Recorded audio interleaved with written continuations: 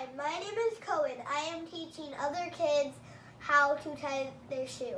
First, you tie your first you go like this, and then you you make a bunny ear, and then you wrap wrap it around, and then you pull your shoelace in the through to through the hole, and then and then you you make go this, cross it with the with your two bunny ears, and then you pull.